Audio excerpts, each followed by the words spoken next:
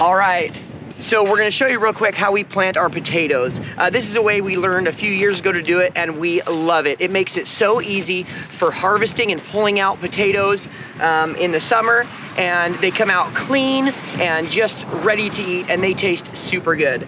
So all you do is we take these potatoes and you just set them on top of this dirt.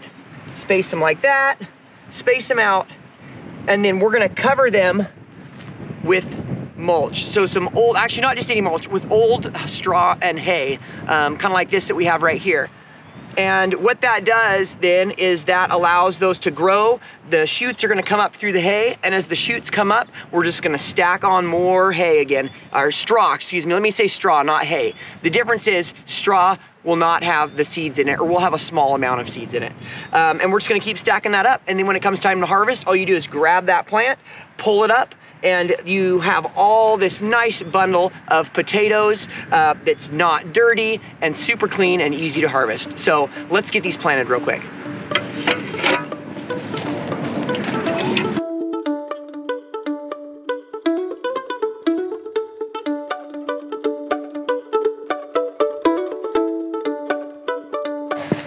All right, see, it's just simple. We take this old rotted hay and just spread it out and cover all of the potatoes.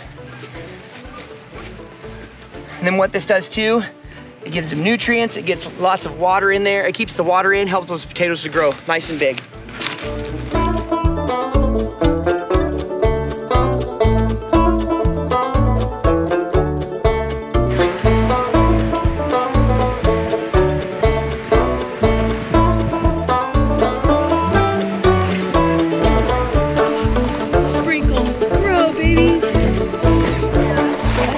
So one of the things I should have said was, these are potatoes that we grew last year and we keep. Um, and uh, this is like a Yukon Gold, and we also have a red rusted one that we plant. So these have just been kept in nice cool storage since last year. They get a nice sprout on them, and they are perfect for seed potatoes for this year.